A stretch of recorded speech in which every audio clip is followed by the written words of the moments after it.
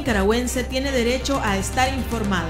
Ahora, el podcast noticioso que te cuenta la realidad del país. Noticias, entrevistas, debates y lo más viral. Te lo contamos ahora. Bienvenidos al podcast de Artículo 66. Les saluda Slish Villachica. A continuación, Marlene Balmaceda nos presenta un vistazo de los titulares que han marcado este día. Cancilleres de la Unión Europea listos para debatir cómo actuarán ante las elecciones en Nicaragua. Iglesia Católica señala que Nicaragua perdió una valiosa oportunidad al eliminar la competencia electoral.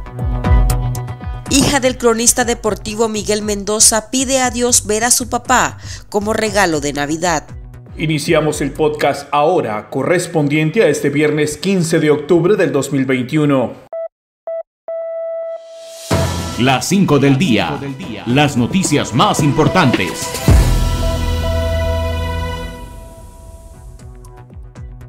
Los ministros de Exteriores de la Unión Europea debatirán cuál será su posición sobre los comicios de Nicaragua. El encuentro se llevará a cabo el lunes 18 de octubre para estudiar la necesidad de adaptar las políticas de la Unión Europea ante el claro giro autoritario del régimen de Daniel Ortega. Una fuente dijo a la agencia de noticias EFE que probablemente habrá un rechazo a reconocer el resultado, porque no representará la opinión de los nicaragüenses. La Unión Europea podría reaccionar con una serie de medidas ante el fracaso de las votaciones.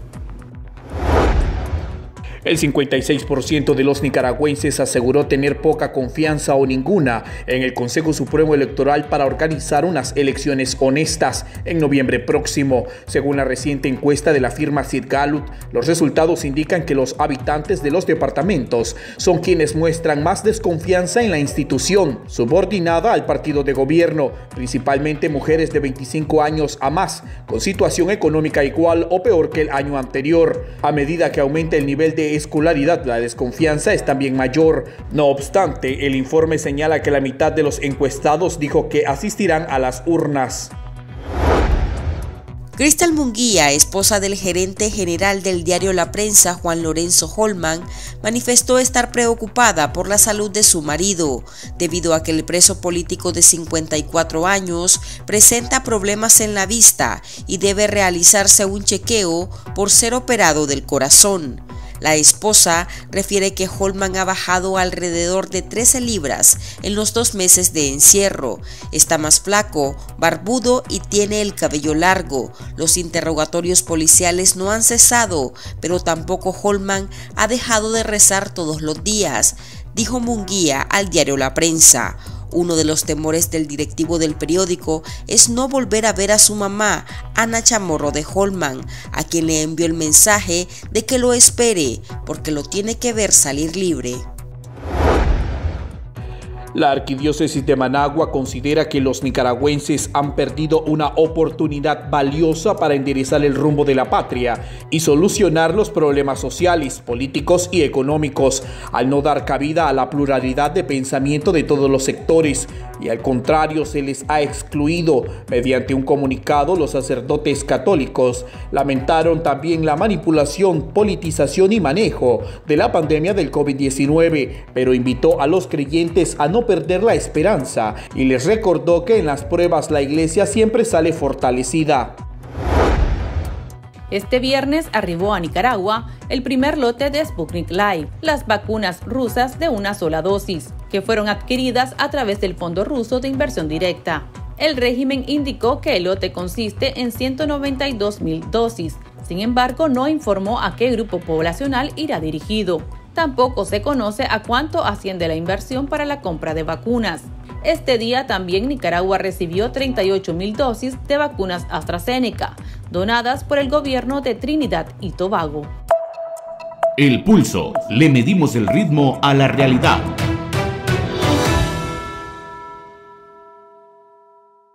El cronista deportivo y preso político Miguel Mendoza pide que le permitan ver a su hija de 7 años. La esposa del comentarista Margin Pozo informó que durante la segunda visita familiar lo encontró bajo de peso, con problemas de salud y comentó que aún es sometido a constantes interrogatorios.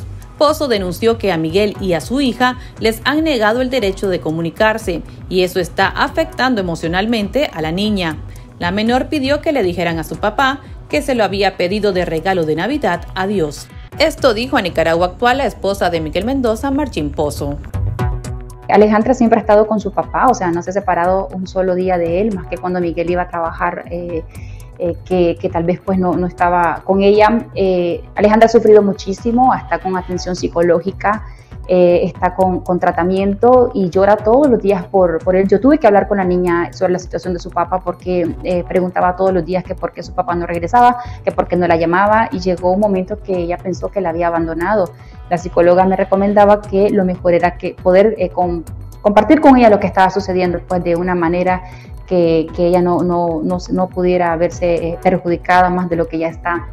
Eh, Alejandra sufre mucho por su papá. Eh, a veces ella pregunta, y eso también a uno lo marca, ¿no? Como madre, y ella te pregunta, ¿te gustaría que tu papá esté preso? ¿Verdad que no? Dice ella. A mí tampoco, a mí me duele que mi papá esté ahí, yo lo quiero ver, ¿por qué no me dejan ver a mi papá? Yo quiero escucharlo, yo quiero verlo. Eh, los niños tienen derecho a ver, de ver a sus padres. Eh, ahorita eh, sé que estamos en una situación bien difícil, sin embargo se puede permitir la comunicación con ellos. Eh, cuando yo le comenté a la niña que iba a ver a su papá, yo le pregunté, ¿qué te gustaría que le diga a tu papá? Me sorprendió mucho, Gerald, porque yo no pensé que me iba a dar esa respuesta por, por, la edad que tiene. Y ella me dijo, mamá, yo quiero que, que le digas a mi papá que yo se lo pedí a Dios como regalo de Navidad a mí me conmovió y cuando yo se lo dije a Miguel, porque Miguel, una de las primeras eh, preguntas que nos hizo, bueno, doña Mercedes, su hermana y a mí, fue eh, cómo estaba su mamá, eh, sus hermanos y, la niña. Cuando yo le comenté sobre el, mensaje de Alejandra, a Miguel se le pusieron pues, los ojos llorosos y, realmente le impactó muchísimo sobre la petición de la niña, ¿no? Los niños con su inocencia y sobre todo Alejandra, una niña que igual eh, siempre la hemos llenado de fe y ella cree muchísimo en Dios y ella me dice, mamá, lloro todos los días por mi papá y yo le pido a Diosito que mi papá esté conmigo en Navidad porque yo no sé qué voy a hacer si mi papá no está conmigo, me dice en Navidad, porque yo a mi papá lo, lo extraño, lo amo y yo quiero que esté conmigo, porque para ellos para todos los niños, ¿no? Esta época del año es muy especial y es muy sensible. Conversamos sobre este tema con el defensor de Miguel Mendoza, el abogado Minor Curtis. Bueno, realmente siempre se le ha permitido a, las personas que están en procesos penales o los que ya tienen sentencia condenatoria eh, las visitas familiares y ella incluso en esas visitas eh, incluyen a cualquier pariente de cualquier edad, puede ser incluso recién nacido. Pues. Eh, si no hay ningún peligro para el menor de ir allí por cuestiones de salud o algo, pues no, hay, no hay ningún impedimento legal para que ellos no puedan ser visitados. Sé que cuando orientaron esta visita, que iba a ser de aproximadamente dos horas, este, orientaron que no llevaran a menores. La única razón que pienso es porque ellos no están en un centro eh, penitenciario para procesados, sino que están en las celdas de auxilio judicial. Entonces, este, y de la entrada de lo que es el portón hasta donde están las celdas, hay como unos 300 o 400 metros. Quizás por eso no dejaron entrar a los menores, pero que hay un impedimento legal, no hay ningún impedimento legal para que los menores visiten a, sus padres o a sus parientes que estén en, custodia. Entonces, este, pero eso eh, no es exclusivamente contra Miguel, sino que es algo generalizado para todos los que están en el chipote. Hubo orientaciones de que no podían entrar menores a verlos a ellos. Prácticamente esto no tiene justificación entonces. No, en teoría no, no hay ninguna justificación de parte de ellos porque eh, legalmente no hay ningún impedimento que, dijese que ellos no pueden visitar a, a las personas que están en proceso. o sea, que realmente eh, deberían de dejar entrar a, a, las personas y también deberían de dejar entrar tal vez un poco más de dos personas. Sé que estamos durante una pandemia y hay que evitar agrupaciones de personas. Sin embargo, como todos son parientes y todos por, lo general viven en la misma casa, entonces no hay ningún problema que estén juntos porque están juntos en la casa. Pues el único problema sería con, con, la persona que está detenida, específicamente en el caso de Miguel, que ya tiene más o menos un poco más de tres meses de estar detenido, pues él ha, perdido el, el, el, como le digo yo, la convivencia en familia con, con, con, sus hijos, con su hija y con, la esposa. Pero aún así yo no miro que sea riesgo porque siempre se pueden tomar medidas de seguridad eh, en cuanto a uso de mascarilla, alcohol gel constantemente durante la visita o alcohol líquido y también este, creo eh, que ellos ya, lo, les pusieron al menos la primera dosis de la vacuna. No sé si ya les pusieron la segunda, pero sé que ya todos los procesados que están en el chipote ya les habían puesto la primera dosis. Entonces los riesgos de una posible contagio puede, no, este, se puede reducir. Aparte, no considero que la menor pues, sea más riesgo de que los adultos que lleguen. O sea, eh, aunque ellos pudieran ser asintomáticos, pero eh, no, realmente no miro yo riesgos grandes eh, para que estas personas no, no puedan recibir las visitas de sus hijos o cualquier pariente menor de edad. ¿Qué dicen las leyes al respecto? Cuando los presos tienen pues, hijos menores de edad, ¿hay un trato especial para ellos en cuanto a la relación que puedan tener con sus familias, con sus niños?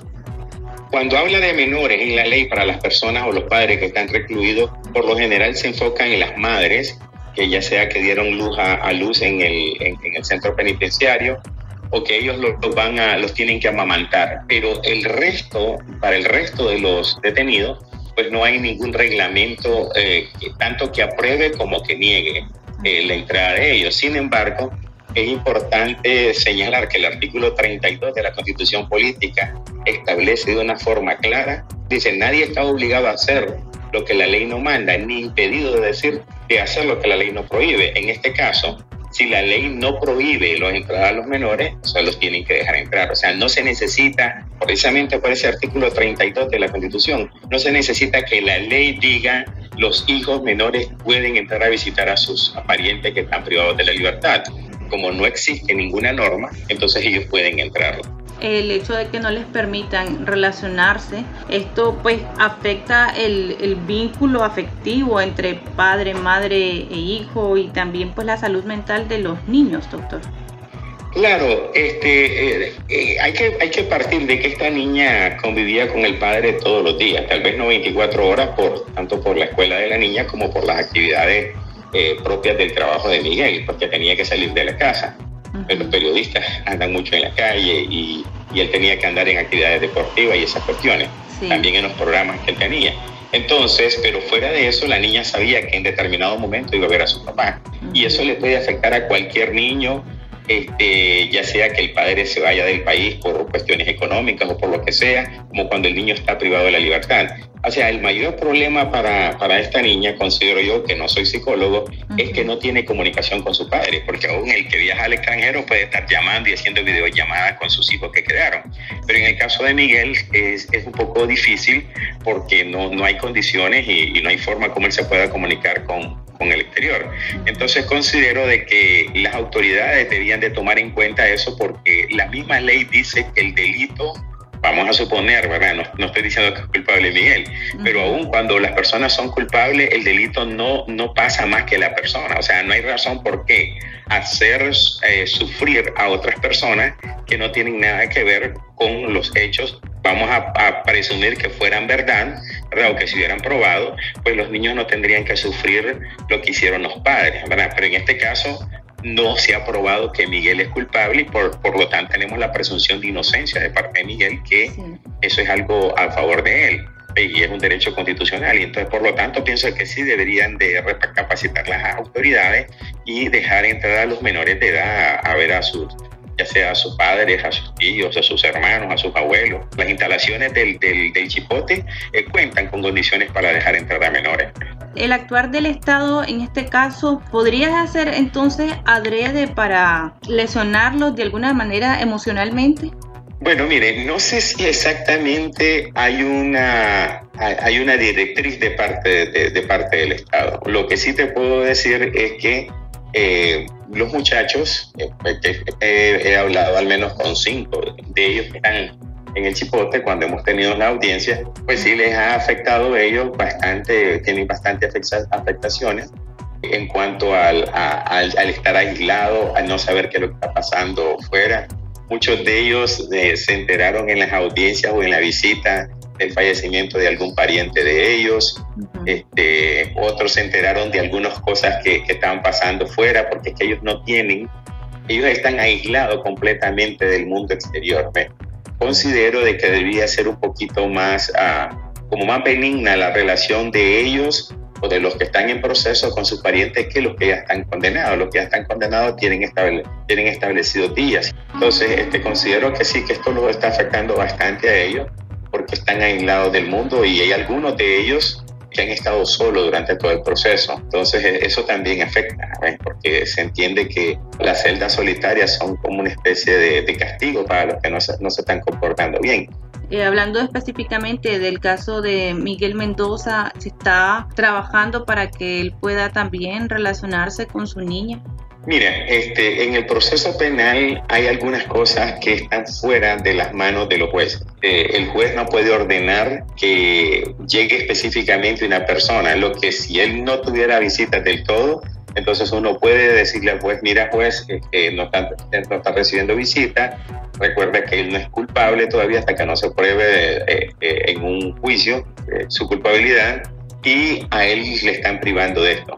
sin embargo, ahorita para poder presentar algún escrito al juez tendríamos que dejar pasar al menos un par de semanas después de la visita de él, dejar pasar un par de semanas para que entonces eh, poderle insistir al juez que, que, no le están dando el derecho pues, de, de, verlo, que probablemente tendría que ser por lo menos cada 15 días, aunque en las estaciones de policías de, Nicaragua, en, la mayoría de ellos, no te voy a hablar 100% de todas, pero la mayoría de ellos, sé que permiten visitas dos veces por semana, aunque sean visitas rápidas de, de 30 minutos o de una hora, pero permiten al menos dos veces por semana esas visitas a las personas que están en los procesos o están eh, detenidas en las celdas de la, de la policía.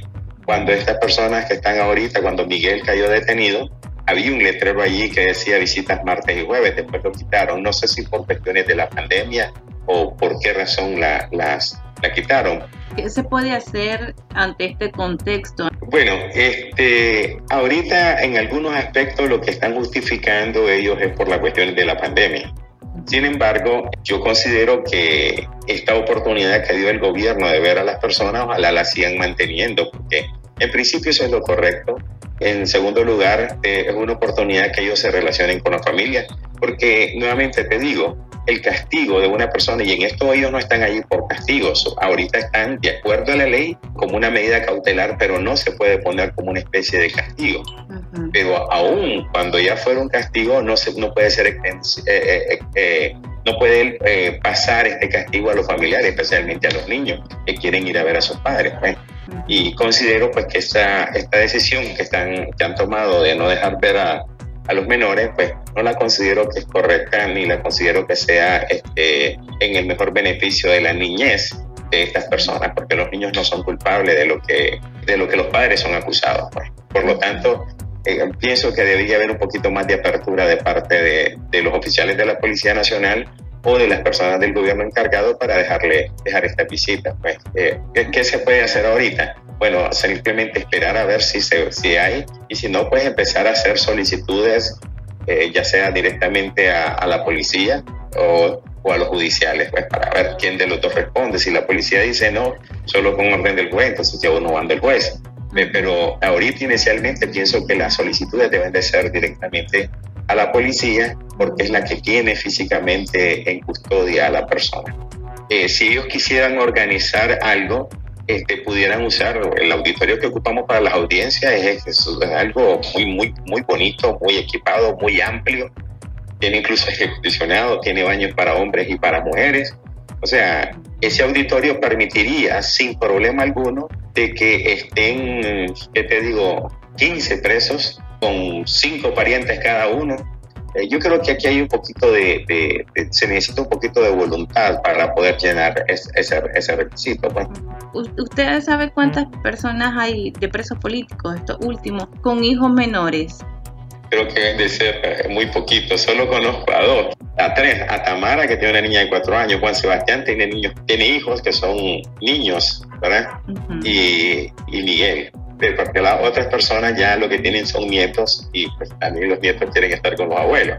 Ah, Félix, no sé si Félix Maradea, porque es un hombre joven de 44 años, pues, pero no sé si él tiene niños pequeños. Sí, bueno, muchas gracias, doctor, muy amable. Para servirles.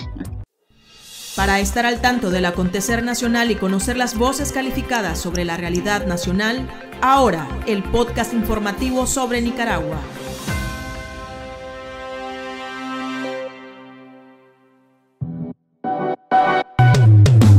Tendencias, la viralidad de las redes sociales. Las quejas por los altos precios en la gasolina y el gas para cocinar han vuelto a invadir las redes sociales. El costo de los carburantes continuará imparable y esta semana incrementará por tercera ocasión consecutiva. La gasolina ya se vende a precios superiores a los 40 córdobas por litro en la capital, mientras el gas butano supera los 470 córdobas en Managua. Los consumidores volcaron su malestar haciendo memes en los que presentan al gas como el obsequio más caro que se puede regalar. Aquí termina el episodio de Ahora de Artículo 66. Continúe informándose a través de nuestro sitio web www.articulo66.com. Síganos en nuestras redes sociales, nos encuentran en Facebook, Twitter e Instagram y suscríbase a nuestro canal de YouTube. Hasta la próxima. La información veraz y de primera mano está ahora. ahora. No te perdás el podcast noticioso que te cuenta la realidad del país. Compartí y pasa la voz.